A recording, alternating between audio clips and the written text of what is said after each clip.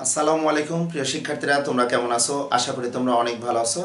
আজকে আমি তোমাদের সামনে পঞ্চম শ্রেণির গণিতের অষ্টম অধ্যায়, অর্থাৎ গাণিতিক গড় বা তোমরা গড়ের যে অধ্যায়টি আছে, এই গড়ের অধ্যায়ের আমি একটি সূত্র দিয়ে এই সূত্র থেকে যা আরও দুইটি সম্পর্ক থাকে বা তোমাদের যদি সংক্ষিপ্ত প্রশ্নে গড়ের সূত্র ছাড়াও যদি বলা হয়, রাশির সংখ্যা কীভাবে নির্ণয় করবে বা তিনটি রাশির ভিতরে দুইটি রাশি জ্ঞাতমান দিয়ে একটু অজ্ঞাত মান দেওয়া থাকতে পারে এবং গড় নির্ণয় করতে বলতে পারে বা গড়ের মান দেওয়া থাকতে পারে, রাশির মান নির্ণয় করতে দিতে পারে। এই যে আমাদের একটি সম্পর্ক থাকবে যে গড় নির্ণয় সূত্র বা রাশিগুলোর যোগফল নির্ণয় সূত্র বা রাশিগুলোর সংখ্যা নির্ণয় সূত্র, এগুলো নিয়ে আমি তোমাদের সামনে একটু আলোচনা করতে চাই।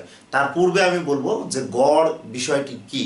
যেটা গাণিতিক গড় বা আমরা যদি বলি এভারেজ, এটি কি? এটি আগে আমাদের জানতে হবে। যেমন নর্মালি তোমরা যদি দেখো যে আমি যদি এখানে দুইটি সংখ্যা এভাবে নিই, যে একটি নিলাম পাঁচ একটি সংখ্যা, আর একটি সংখ্যা আমি নিয়েছি মনে করো সাত। তো পাঁচ এবং সাত দুইটি সংখ্যা। এখন যদি আমি বলি এখানে আছে পাঁচ টাকা, আর এটি আছে মনে করো সাতটি কলম। আমি যদি এভাবে বলি যে আমাদের কাছে আছে পাঁচ টাকা এবং সাতটি কলম। তাহলে পাঁচ টাকা এবং সাতটি কলম, এই দুইটি বস্তু যদি বলি, এদের কি গড় নির্ণয় করা সম্ভব? আমি বলব না। সুতরাং গড় কাকে বলে বা গড় কি, এটি আমাদের কিন্তু পরিপূর্ণভাবে জানতে হবে। সেই ক্ষেত্রে মনে রাখবে, কতগুলো সমজাতীয় রাশি সমজাতীয় রাশি হবে বা একক, এক, একই একক সম্পূর্ণ রাশিগুলোর যোগফলকে যদি রাশি সংখ্যা দ্বারা ভাগ করা হয়, তাহলে আমরা যে মান পাবো তাকে বলা হবে রাশিগুলোর গড়। যেমন এখানে দেখো, আমি এখানে কিন্তু কোনো নির্দিষ্ট একক এখানে লিখি নাই। এককটা কি এটা আমি লিখি নাই, খেয়াল করো। দুইটি সংখ্যা আমি নিয়েছিলাম, সংখ্যা এখানে। তাহলে দুইটি সংখ্যার আমরা যোগ করে পেলাম কত দেখো তো? বারো। তাহলে আমরা দেখতে পাচ্ছি সংখ্যা আছে কয়টি? সংখ্যা আছে দুইটি। এবং আমরা দেখছি যে সংখ্যাগুলোর যোগফলকে দুইটি কিন্তু সমজাতীয় রাশি। এখানে এমন হতে পারে, এটি পাঁচ টাকা, তার সাথে সাত টাকা যোগ করতে হতে পারতো। তাহলে আমরা এখানে টাকায় লিখে দিতাম। ফাইনালি মনে করো এখানে আমরা একক যদি থাকতো, সমজাতীয় একক টাকা লিখতাম। তাহলে আমাদের এখানে কিন্তু দেখো পাচ্ছি গড় সমান। তাহলে আমরা পাঁচ আর সাত যদি যোগ করি, তাহলে বারো পাচ্ছি। বারোকে যদি আমি দুই দ্বারা ভাগ করি, তাহলে আমি পাচ্ছি দেখো ছয় টাকা। ওকে, তাহলে আমি তোমাদের পাঁচ টাকা এবং সাত টাকা, এই দুটি টাকার গড় আমি কীভাবে নির্ণয় করলাম? আমি বলেছি সমজাতীয় রাশি হতে হবে।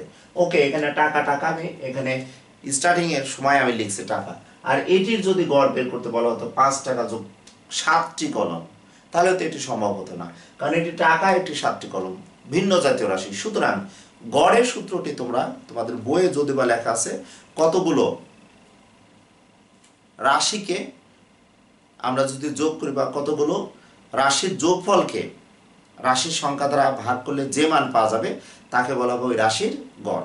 আমি একটু তোমাদের এই সংখ্যার সাথে সংযুক্ত করতে চাই। তোমরা যদি এভাবে লেখো যে কতগুলো সমজাতীয় রাশির যোগফলকে রাশির সংখ্যা দ্বারা ভাগ করলে যে মান পাওয়া যায় তাকে ওই রাশির গড় বলা হয়।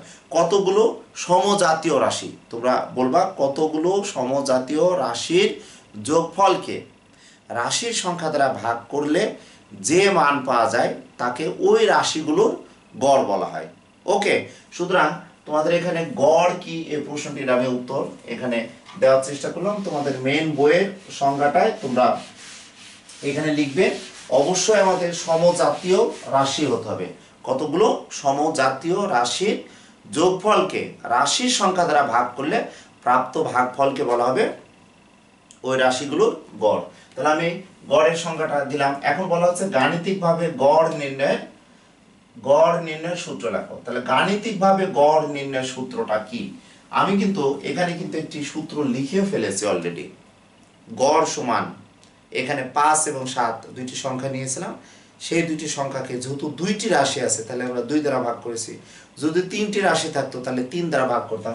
তাহলে গাণিতিক গড় নির্ণয়ের সূত্র যদি আমি এটা বলি যে গড় সমান রাশিগুলোর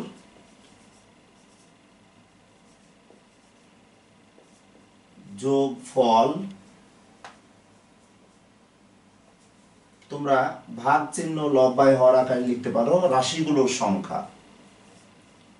রাশিগুলোর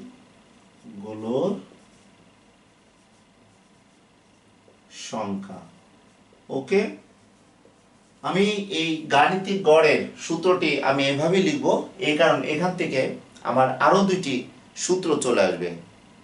একটা হচ্ছে রাশিগুলোর যোগফল নির্ণয় সূত্র, আরেকটা হচ্ছে রাশিগুলোর সংখ্যা নির্ণয় সূত্র। রাশিগুলোর সংখ্যা নির্ণয় সূত্র। ওকে, এটি তোমাদের বইয়ে অবশ্যই এবার না লিখে তোমাদের বইয়ে যেভাবে লেখা আছে, সেটিও আমি এখানে একটু লেখার চেষ্টা করছি। দেখো, তোমাদের বইয়ে লেখা আছে যে গড় সমান গড় সমান রাশিগুলোর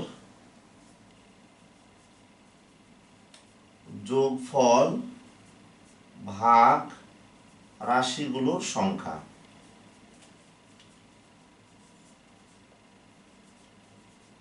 রাশিগুলোর সংখ্যা। এটি কিন্তু তোমাদের মেন বইয়ে এই সূত্রটি এভাবে দেয়া আছে যে গড়ের সূত্র কি? তাহলে গড় সমান বলেছে রাশিগুলোর যোগফল ভাগ রাশিগুলোর সংখ্যা। আর আমি এটিকে এবার লিখেছি এই কারণে আমি কিন্তু গাণিতিক গড়ের সূত্র পেয়েছি। এইটা এবং এটা একই সূত্র, কিন্তু আমি যখন রাশিগুলো যোগফল নির্ণয় সূত্র লিখতে যাব, সেই ক্ষেত্রে আমি কীভাবে পাবো? এটি থেকে আমরা সূত্র যদি পেতে চাই, তোমাদের যদি এভাবে বলি, বক্স সমান হয়তো তিন বাই দুই আছে, আমরা বক্সের মান পেয়েছি। বক্সের মান আমরা জানি যে তিন বাই দুই। তাহলে লক্ষ্য করো, অজ্ঞাত যেহেতু বক্স অজানা একটি প্রতীক, তাহলে আমরা এখানে বক্সের নিচে দেখো যে কোনো সংখ্যার নিচে মনে মনে এক ধরতে পারি। তাহলে এখান থেকে আমরা যেহেতু বক্সের মান নির্ণয় করব, তাহলে বক্স সরি আমি যদি এটাকে এবার লিখি, দেখো এক গুণ তিন সমান বক্সের সাথে আমি দুই গুণ করলাম। তাহলে এখানে দেখো একটি সম্পর্ক হচ্ছে তিন সমান কত? দেখো বক্স গুণ কিন্তু দুই হলো। আমি এই তিন সংখ্যাটিকে যদি রাশিগুলো যোগফল দ্বারা প্রকাশ করি, তাহলে রাশিগুলোর যোগফল সমান অ্যাকচুয়ালি হচ্ছে এখানে যে গড়। এখানে এই বক্সের মধ্যেই ছিল কিন্তু গড়। ওকে, তাহলে আমি কি পাচ্ছি দেখো? যে বক্স মানেই কিন্তু গড় ছিল, তাহলে আমরা আড়াআড়ি কোনাকুনি যদি এবার গুণ করি, এটাকে বলা হয় আর গুণন কোনাকুনি গুণ, যেটা একটু খেয়াল করো, এটা একটি কোনাকুনি গুণ তাহলে দেখতে পাচ্ছি, দেখো, এক গুণ তিন সমান বক্স লব আকারে আছে বাম পক্ষে, আর ডানে হরে ছিল কিন্তু দুই। তাহলে দুই গুণ বক্স। তাহলে এখানে শুধু তিন বলতে আমরা কি পাচ্ছি, দেখো, বক্স ইন্টু তিন। তাহলে এটি বলার কারণ, দেখো, আমি যদি এখন এই তিন নম্বর প্রশ্নটি রাশিগুলো যোগফল নির্ণয় সূত্র পেতে চাই, তাহলে দেখো, গড়ের নিচে তোমরা দেখে নাও, মনে মনে এক ছিল। তাহলে একের সাথে যে কোনো সংখ্যা গুণ করা মানে তো ওই সংখ্যাটি পাওয়া যায়। কারণ আমি এখানে দেখলাম বাম পক্ষে বক্সের নিচে হরে এক ছিল আর ডান পক্ষে লব ছিল কিন্তু তিন।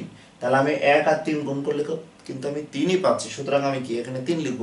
তাহলে আমি একের সাথে যদি রাশিগুলো যোগফল গুণ করতে চাই, তাহলে আমি কি পেতে পারি দেখো? রাশিগুলোর যোগফল রাশিগুলোর যোগফল সমান, দেখো, আমরা কোনাকুনি যদি গুণ বিবেচনা করি আড়াআড়ি যেটা যে প্রথম ভগ্নাংশের লবকে দ্বিতীয় ভগ্নাংশ হর দ্বারা গুণ করলে প্রথম ভগ্নাংশ হর এবং দ্বিতীয় প্রথম অংশে হর এবং দ্বিতীয় ভগ্নাংশের লবের গুণফলের সমান হবে। তাহলে দেখো, এক গুণ রাশিগুলোর যোগফল সমান আমরা কি পাবো, দেখো? গড় গুণ রাশিগুলোর সংখ্যা। রাশিগুলোর সংখ্যা। এটি কিন্তু আমাদের অ্যাকচুয়ালি একটি সূত্র। আমি যদি এটি অতএব দিয়ে দিই যে রাশিগুলোর যোগফল সমান গড় ইন্টু রাশিগুলোর সংখ্যা। ওকে এটা কেমন হতে পারে? এটির যৌক্তিকতা আমি তার পূর্বে বলব যে এইটিকে আমরা এভাবে লিখতে পারি বা এভাবে লেখা আছে তোমাদের বই এটিকে আমি চেঞ্জ করে একটু লক্ষ্য করো। এভাবে লেখার চেষ্টা করেছি। এই কারণে যে আমি রাশিগুলো যোগফল নির্ণয়ের সূত্রটি কীভাবে পাবো। এটি বোঝানোর জন্য কিন্তু আমি এখানে আড়াআড়ি গুণ করার জন্য গড়ের সাথে কিন্তু রাশিগুলোর সংখ্যা পাচ্ছি। তাহলে এটি রাশিগুলোর যোগফল নির্ণয় কিন্তু আমি সূত্র পেলাম। ওকে, এখন দেখো, এই সম্পর্কটা আমি একটু রেখে দিতে চাচ্ছি। এই সম্পর্কটা আমি গড় ধরেছি। এখন এমন যদি হয় যে এখন আমি রাশিগুলোর সংখ্যা পেতে চাই। তাহলে রাশিগুলোর সংখ্যা বলতে এখানে দেখো দুই। তাহলে আমি এটাকে যদি এইভাবে বিবেচনা করি আবার, এখান থেকে একটু বের করতে চাই যে বক্স গুণ দেখো দুই সমান এক গুণ তিন। তাহলে আমার দরকার কি দুই বলতে রাশিগুলোর সংখ্যা রাশিগুলোর সংখ্যা। তাহলে আমি এখান থেকে শুধু দুই রাখতে চাচ্ছি। তো তোমরা ক্লাস ফোর থেকে শিখে এসেছ। যে বাম পক্ষে এরকম অজ্ঞাত কোনো রাশি, অজ্ঞাত কোনো চিহ্ন সাথে গুণ থাকলে ডানে গেলে কিন্তু ভাগ হয়ে যায়। তাহলে আমি দুই রাখব, তাহলে তিন, একে তিন। তিনকে যে দেখো বক্স যে আবার ভাগ হয়ে যায়। বা এটিকে আমরা এবার লিখতে পারি যে দুই সমান তিন ভাগ দেখো বক্স এখন গড়ের তো একটি মান থাকবে। গড়ের মান কেমন থাকতে পারে সেটি তোমাদের আমি পরে দেখাচ্ছি। একটু খেয়াল করো এটি কিন্তু একটু সূত্র। তাহলে আমি এখন এই সূত্রটা আমি এটা একটু মুছে দিই। এই সূত্রটাকে যদি আমি এভাবে লিখতে চাই, এটার সাথে যদি একটু কম্পেয়ার করাতে চাই, তাহলে কেমন হতে পারে তোমরা একটু দেখে নাও। আমি এখানে, আমি রাশিগুলোর সংখ্যা আমি নির্ণয় করব। তা রাশিগুলোর সংখ্যা যদি নির্ণয় করতে চাই, তো লক্ষ্য করো, ওখান থেকে আমি এবার লিখতে পারি। দেখো একটু, যে রাশিগুলো গড় ইন্টু দেখো, গড় ইন্টু রাশি গুলোর সংখ্যা। গড় ইন্টু রাশিগুলোর সংখ্যা। অর্থাৎ গড়ের সাথে রাশিগুলোর সংখ্যা গুণ করে আমি বাম পক্ষে রাখব। আগেরটিতে যেমন রাশিগুলো যোগফল নির্ণয়ের সূত্রের জন্য বাম পক্ষে রাশিগুলো যোগফল লিখে রেখেছিলাম, এখন আমি গড় ইন্টু রাশিগুলোর সংখ্যা আমি বাম পক্ষে রাখব। আর ডানে আমার দেখো একের সাথে রাশিগুলো যোগফল, তাহলে আমি এটি লিখে দিচ্ছি। দেখো রাশিগুলোর যোগফল। রাশিগুলোর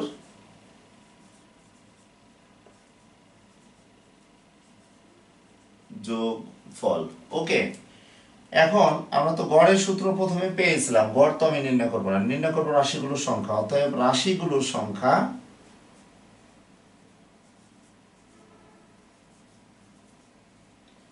রাশিগুলোর সংখ্যা সমান দেখো, রাশিগুলোর যোগফল রাশিগুলোর যোগফল ভাগ সমানটা একটু নিচে নামিয়ে দিলে ভালো হতো। এখানে তাহলে ভাগ আমরা, এখানে গড় যেহেতু গুণ ছিল, আমি এটি দেখো এটি কিন্তু অ্যাকচুয়ালি গড় লেখা ছিল। এটিকে আমি বক্সে গড় বিবেচনা করেছিলাম। ওকে তাহলে দেখো, এখানে বক্সে যদি আমি গড় বিবেচনা করি, তাহলে কি হয় দেখো তো? তিন ভাগ কি বলতো? গড়। বক্স বক্সের মানটাই তো আমাদের গড় ছিল। তাহলে এটি আমি দেখো গড় লিখছি। তাহলে আমি ভগ্নাংশ আকারে না রেখে যদি এটিকে এবার লিখি, যে রাশিগুলোর যোগফল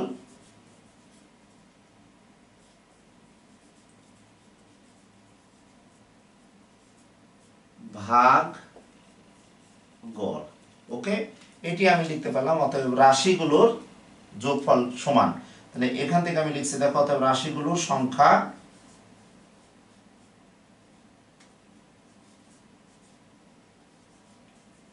রাশিগুলোর সংখ্যা। রাশিগুলোর সংখ্যা সমান, রাশিগুলোর যোগফল ভাগ গড়। ওকে? তোমরা একটু সূত্র সমূহ দেখে নাও। প্রথমে গড় কি? আগে বলেছি। এরপরে আমি যদি বলি গাণিতিক গড় কি এটি কিন্তু গাণিতিক গড়, অর্থাৎ গড় নির্ণয় সূত্রকেই আমরা গাণিতিকভাবে প্রকাশ করছি যার জন্য এটি গাণিতিক গড়। এরপর রাশিগুলোর যোগফল, আমি তোমাদের রাশিগুলোর যোগফল কীভাবে আসে, এটি দেখানোর চেষ্টা করেছি যে গড়ের সাথে রাশিগুলোর সংখ্যা আমাদের গুণ করতে হবে। এরপরে সম্পর্ক থেকে আমরা রাশিগুলোর সংখ্যা যদি পেতে চাই, তাহলে গড়ের সাথে দেখো রাশিগুলোর গুণ সংখ্যা গুণ হবে। সমান রাশিগুলোর যোগফল অথবা রাশিগুলোর সংখ্যা আমি যদি রাখতে চাই রাশিগুলো যোগফলকে আমাদের গড় দ্বারা ভাগ করতে হবে। তাহলে আমি আজকে মূলত তোমাদের সামনে যে গড়ের প্রাথমিক যে ধারণা, গড় নির্ণয় সূত্র বা গড়ের সাথে যে তিনটি সম্পর্ক আছে সূত্রের, এই তিনটি সূত্র আমি তোমাদের সামনে আলোচনা করার চেষ্টা করলাম। পরবর্তীতে আমি এই অধ্যায়ের কিছু উদাহরণ এবং অজ্ঞাত কিছু মান নিয়েও এই তিনটি সম্পর্কের ভিতরে আমরা কীভাবে রেখে গাণিতিক গড় নির্ণয় করতে পারব, সেই ধরনের ক্লাস নেই। আবার তোমাদের সামনে থাকার চেষ্টা করব। সেই প্রত্যাশায় এই ক্লাসের ইতি টানলাম আল্লাহ হাফেজ।